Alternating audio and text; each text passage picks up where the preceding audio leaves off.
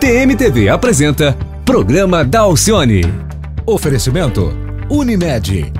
Ribeiro e Arrabal Negócios Imobiliários. 3228 7000. Xerém Tour. Viagem Família. Viagem Xerém Turismo. Marechal Center, terceiro piso. O programa de hoje vai abordar a língua brasileira de sinais. Estou aqui com meus convidados, o professor Gabriel Pigoso e o estudante Igor Rabelo. Tudo bem, gente? Tudo bom. Prazer tudo, receber tudo. vocês. Obrigado. Como é que a Libras entrou na sua vida?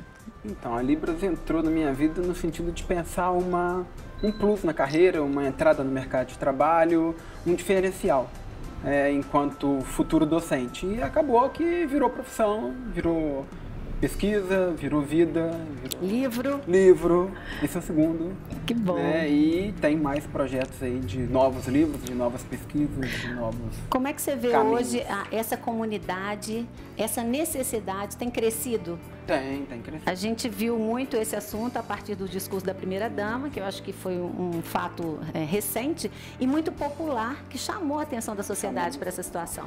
Logo no dia seguinte do discurso, eu recebi várias mensagens, vários telefonemas de alunos, de ex-alunos, querendo saber como que faz para poder virar intérprete, porque a primeira dama sabe língua de sinais, e eu preciso trabalhar, e é uma língua muito bonita, e por aí vai. né? Então a gente tem hoje um campo muito grande de trabalho, uma demanda enorme e um número de profissionais muito restritos. né? já- então, para quem quiser uma aí, dica, né? é, para quem quiser se dedicar, tem, Tem vagas, mercado. tem mercado. Foi assim que você se interessou? É, foi no, no início do ensino fundamental, quando eu tinha uns 8, 7 anos por aí. Eu aprendi o alfabeto na escola, no ensino fundamental, e aí depois nunca, nunca, nunca mais aprendi, nunca mais ouvi falar. E aí, recentemente, é, eu conheci uma amiga, e aí ela falava muito bem Libras. Eu falei assim: Vitória, você precisa me ensinar, eu quero muito. Comecei a me apaixonar pelo amor que eu via. E aí, na minha igreja, entrou uma moça surda. E aí houve a necessidade de ter mais uma pessoa para ajudar a intérprete que já está lá, que é a Vitória. Então aí começou essa, toda Seu essa interesse. empenhada aí de, de fazer, de aprender um pouco mais de Que Libras. nível que você está? Tô no nível básico, me considero assim, bem Já básico se mesmo. comunica? Já me comunico, consigo me comunicar bem, consigo assim, sair um pouco da saia justa. A gente sempre entra na saia justa, né? Ele sabe melhor do que isso, do que eu. Mas assim, um oi, tudo bem? Qual é o seu nome? Qual é o seu sinal? Já tá já acontecendo. consigo, já consigo falar bem. Gabriel, eu, a partir do momento que meus olhos se abriram para isso, eu comecei a ver como a gente é, tem deixado a desejar nesse quesito nos nossos eventos, nos congressos, nas reuniões, enfim. é, eu, eu me senti constrangida de já não ter prestado atenção nisso nos eventos que eu organizo e, e, enfim, outras situações. Como é que você vê isso? Sim, é uma, é uma, é uma questão assim que realmente ela estava meio que oculta aos nossos olhos, no sentido de não pensar que esse outro faz parte desse espaço.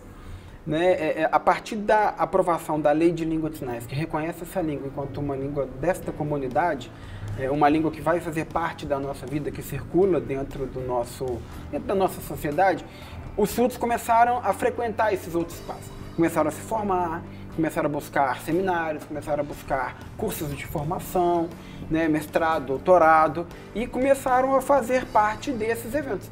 E negar essa, a, a presença de um intérprete num determinado evento, eu estou negando o acesso à comunicação e informação desse sujeito. Então eu deixo de ofertar isso para ele. É verdade. né? Então, assim, é, é algo que a, a nossa sociedade precisa repensar isso. Fazendo um paralelo com os intérpretes de língua oral, a gente tem em eventos um número muito maior de intérpretes de língua oral do que de intérpretes de língua de sinais. Olha só, vamos separar isso para as pessoas que estão assistindo o programa entenderem. Se eu sou intérprete, você está falando e eu estou aqui, é Sinalizando. isso? Sinalizando. E tem uma outra, uma outra possibilidade. Que é a de tradução. Isso, explica A essa tradução diferenciação. é seria algo voltado ao papel. Então eu vejo um discurso em língua de sinais e eu coloco esse discurso no papel.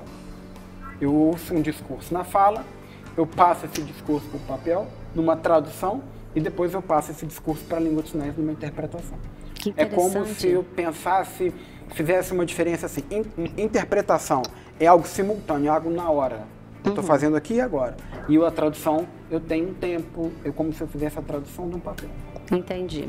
É, você entende que a Libras facilita o acesso das pessoas que têm essa necessidade a aprender o português? Sim, eu preciso ter uma língua adquirida para poder aprender uma outra língua. Então, como eu aprendo a língua portuguesa, que é a segunda língua para esse sujeito, uhum. sendo que ele não tem uma língua adquirida, que é a língua de sinais. Então, eu preciso ter uma língua adquirida para depois eu poder aprender uma outra língua. Da mesma forma aconteceu comigo. Aprendi a língua portuguesa e depois eu aprendi, as outras. Você falou uma coisa nos bastidores que eu também só tive consciência é, estudando a matéria para fazer o programa. Porque, a princípio, a gente pensa que só vai ser necessário para a interpretação de um culto, ou de uma reunião religiosa, ou de um uhum. congresso, ou de uma aula. Mas e a questão da saúde? Conta essa situação. É, então, a minha amiga Vitória, ela, nós conhecemos uma surda, e ela estava tendo dificuldade em marcar exames e até em ir na consulta, porque o marido dela, que é ouvinte, ele, ele não é surdo, mas ele trabalha, então não tem como ele estar tá sempre tá no horário disponível para ir com ela na consulta. A Vitória falou assim: não Gabi, eu vou com você na consulta, mas porque ela tem essa dificuldade. Ela tem necessidade de consultar. Todo mundo precisa, né? Ir no médico. Só que muitas vezes o médico não sabe. Não sabe Libras, então aí complica, né? Atendente que marca a consulta não sabe Libras. Então vai só fazendo essa bola de neve, né? Um não sabe, o outro não sabe e acaba que ela fica perdida nesse meio. Eu acho que as coisas passam muito pela necessidade que a gente tem. Porque a gente só vai entender a necessidade do outro quando aquilo me atinge de alguma forma. Então, por isso as discussões de inclusão, elas são e tão até importantes. Até mesmo né? direcionamentos legais, porque para os cursos de bacharelado, a disciplina de língua de sinais ela é optativa. Eu faço se eu quiser essa disciplina. Para os cursos de licenciatura, fonoaudiologia e magistério, ela é uma disciplina obrigatória. Entendi. Mas mesmo assim ela não deixa claro se ela é obrigatória para ensinar língua ou para ensinar quem é esse sujeito surdo? Porque eu posso ter uma disciplina de Libras na graduação de 30, 40, 15, 60 créditos. E eu não aprendo língua de sinais em 60 não créditos. Não há um estímulo para que a sociedade se interesse não, não tem, em fazer. Não tem mesmo a gente tendo um, é, é, uma apelação, se é eu posso dizer assim, né?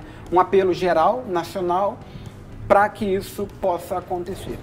É, a, a, o movimento surdo ele vem já há alguns anos nessa luta, de, de, de visibilidade, mas a gente percebe que há 17 anos da aprovação da língua, né, do reconhecimento da língua de sinais, ainda temos um caminho muito longo a percorrer em relação à difusão da língua, ao acesso aos meios de saúde. Nós temos no município uma lei, se eu não me engano, de 2009 ou 2003, agora não lembro o número dela, mas que ela diz que todos os espaços públicos devem ter a presença de intérprete.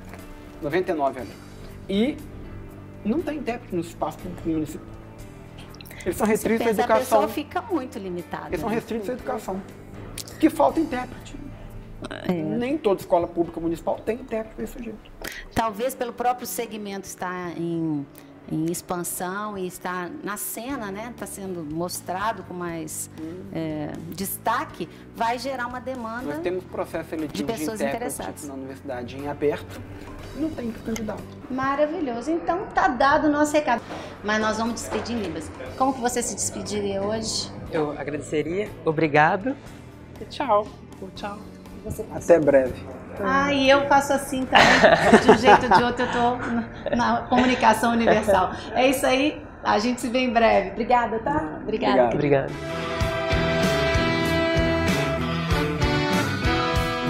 Oferecimento Unimed. Ribeiro e Arrabal Negócios Imobiliários. 3228 7000. Xerém Tour. Viagem família. Viagem Xerém Turismo. Marechal Center, terceiro piso.